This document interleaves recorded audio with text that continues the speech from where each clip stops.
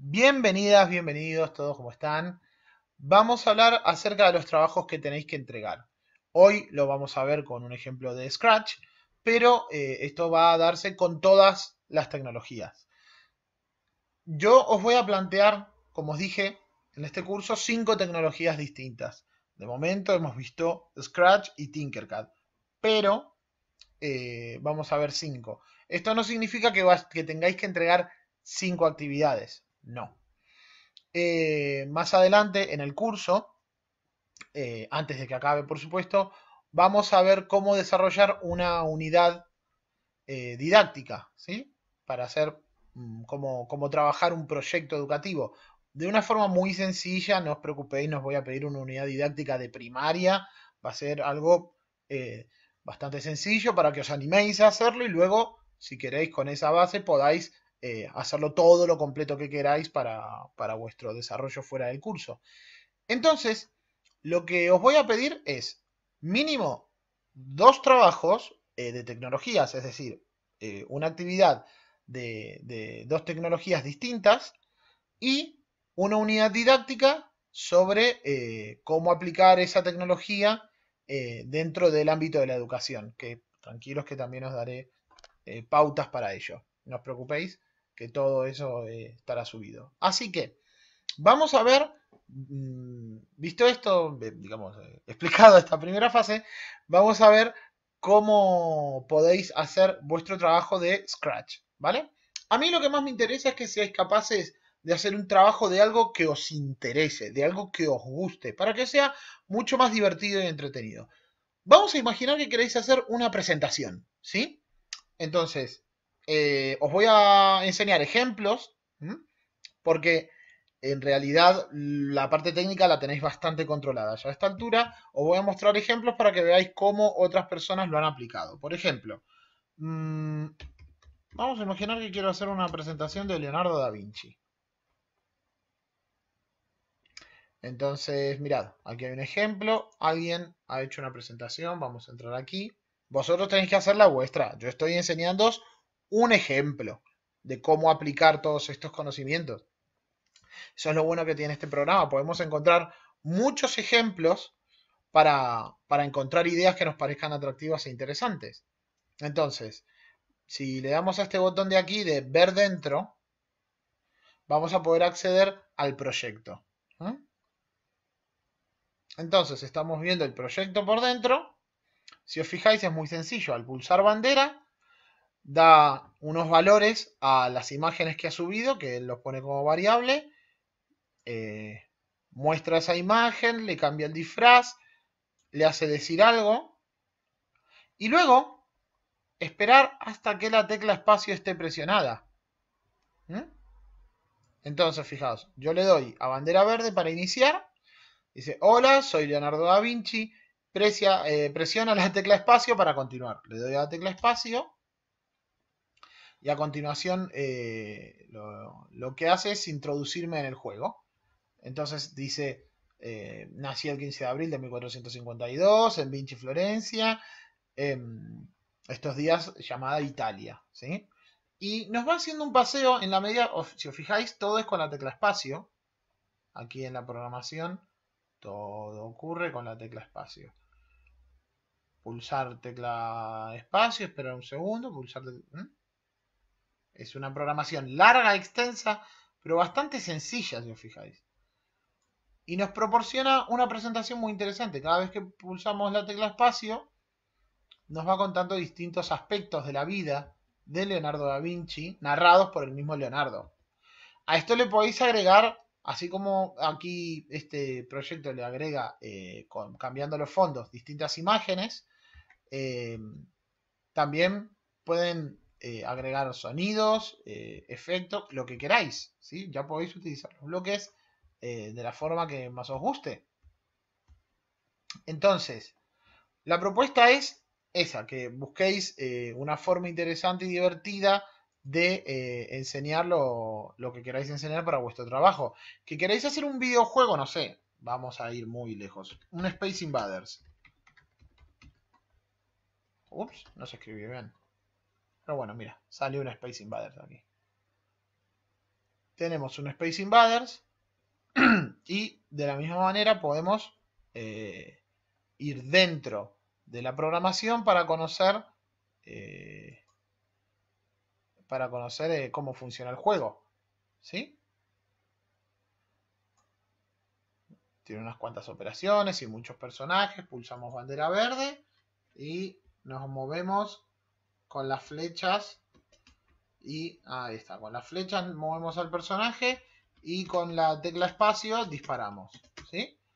Y todo esto lo que podemos hacer es justamente investigar todos los personajes, ¿sí? los sprites, para ver qué tipo de programación tiene. Obviamente es un juego eh, complejo, pero se puede realizar tranquilamente. Y como os digo, eh, eh, cualquier idea que veáis que os inspire para crear un proyecto, bienvenida sea. ¿Qué me interesa? A mí, bueno, que vuestro proyecto tenga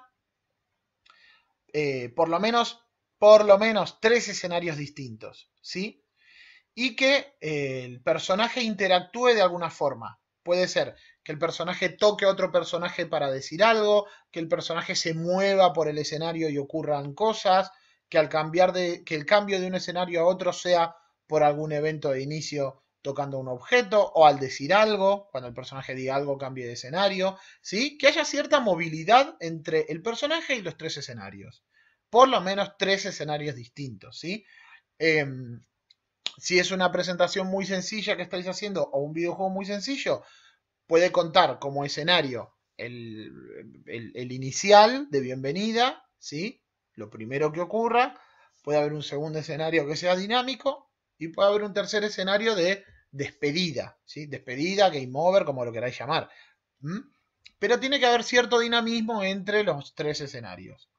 Eh, e insisto, intentad que os guste y no os volváis locos con que sea eh, algo lleno, lleno, lleno de bloques y de elementos. Intentar ir, eh, empezar por algo muy sencillo e ir agregándole bloques y, recursos en la medida que vais asegurando los primeros pasos.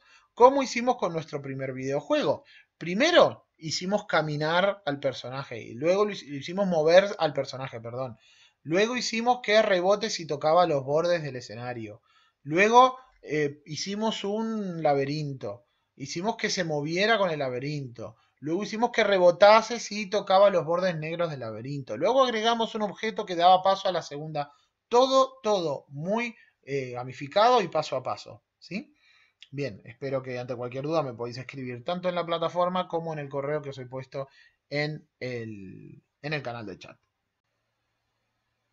¿Cómo hacemos para compartir el trabajo de Scratch y para entregármelo sobre todo eh, eh, y, que yo pueda verlo y corregirlo? Bien, una vez que habéis acabado vuestro proyecto de Scratch, lo único que tenéis que hacer es darle a este botón de aquí, este botón naranja de arriba que dice compartir.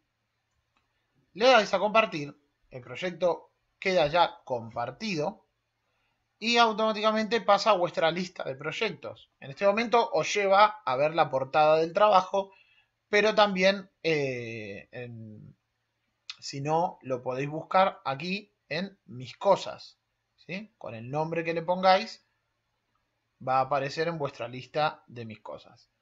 Una vez que lo habéis compartido, le dais este botón de aquí debajo que dice copiar enlace copiáis enlace, eh, la opción de copiar el enlace o el embebido para, eh, para embeberlo en una, en una página web, por ejemplo, pero vosotros copiar, eh, le dais a copiar enlace.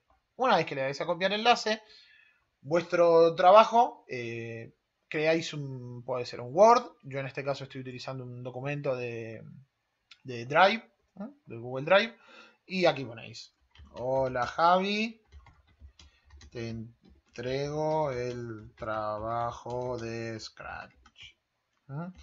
Y podéis eh, hacer todas las explicaciones que queráis, bla, bla, bla, bla, bla, bla, bla. Me refiero a, podéis decir, este trabajo me ha costado mucho hacerlo, creo que esto no está bien, creo que esto sí está bien, he intentado hacer todas las explicaciones que queráis, me las podéis poner aquí. Y luego sencillamente lo único que os quedaría hacer sería pegar el enlace. ¿eh? Si, si lo podéis em, eh, enlazar directamente, digamos, hacer la inserción directa con el botón que os sale aquí, por ejemplo, en la mayoría de editores de texto a día de hoy está esta posibilidad, ¿no? De insertarlo para poder hacer clic directamente. Insertáis el enlace y luego le ponéis aquí el título. Mm, trabajo, Scratch y vuestro nombre, ¿sí? Javier Ubeira Tone. Y una vez que Ubeira... Y una vez que eh, habéis hecho la descripción del trabajo y habéis eh, insertado el enlace, lo único que os quedaría sería descargarlo como PDF.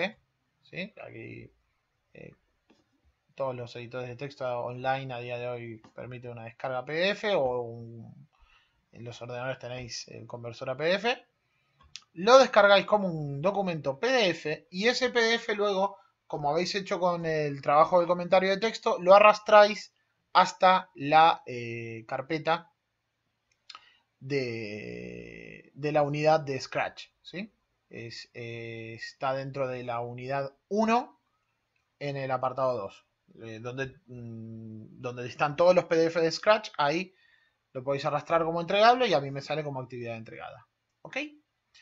Bien, cualquier duda, como sabéis, me consultáis en clase, me mandáis un correo o un mensaje por la plataforma.